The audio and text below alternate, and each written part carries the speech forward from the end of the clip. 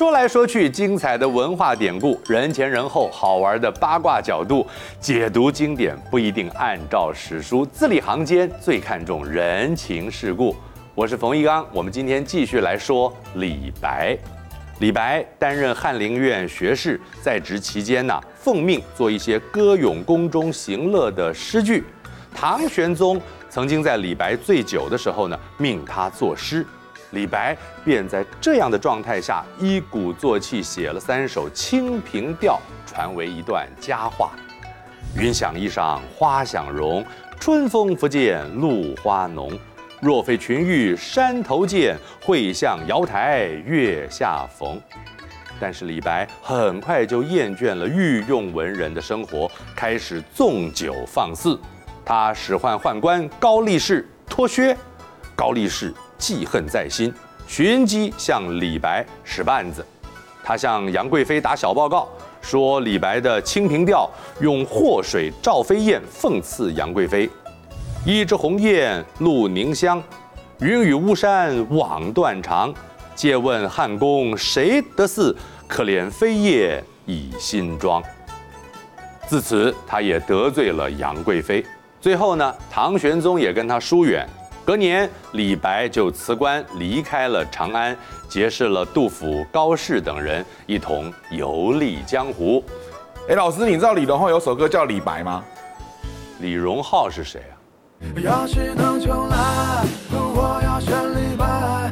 几百年前做的好坏，没那么多人在。哦哦哦，唱的很好，唱的很好。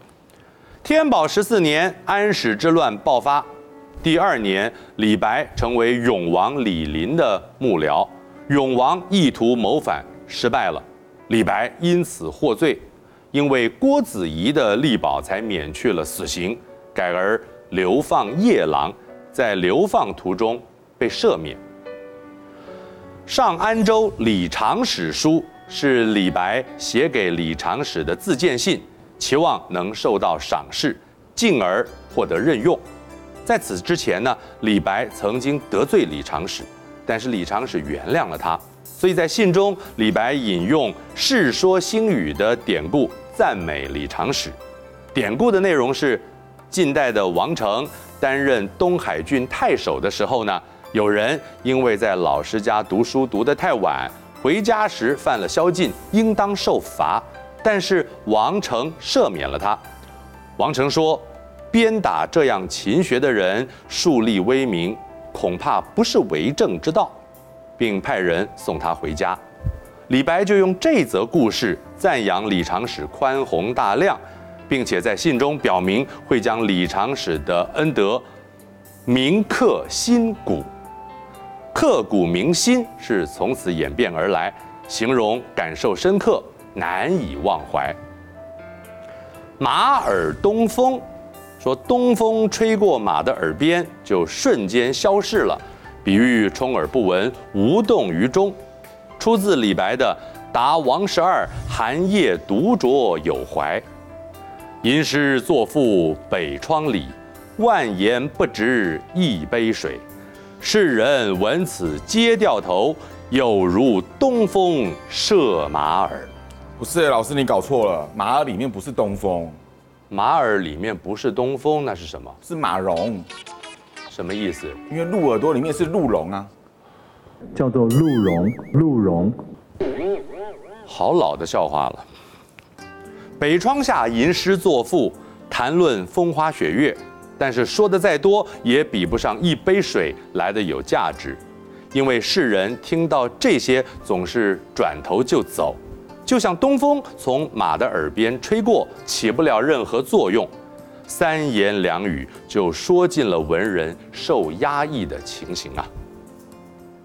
李白晚年依靠亲戚李阳冰，六十一岁的时候就病逝了，最后在李阳冰的家中写了《临终歌》：大鹏飞兮振八翼，中天摧兮力不济。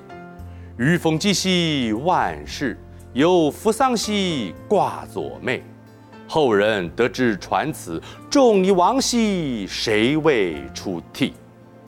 说大鹏展翅翱翔，到了半空中却折了翅膀，无力再飞。